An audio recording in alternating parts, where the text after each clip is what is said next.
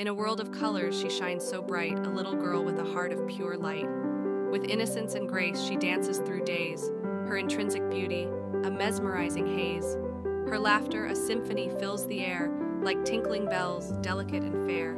Her eyes, like windows, reveal a soul so pure, reflecting love and kindness forever to endure. Her smile, a radiant beam of pure delight, illuminating even the darkest night. Her gentle touch, a balm for all who ache, bringing solace and healing with each embrace. She walks in harmony with nature's song, a gentle spirit where compassion belongs. With each step, she leaves footprints of love, a testament to the beauty she's made of. In her world, there's no room for hate or strife, for she embodies the essence of life.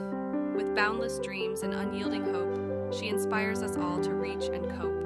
A little girl with a heart so pure, her intrinsic beauty, a treasure to adore.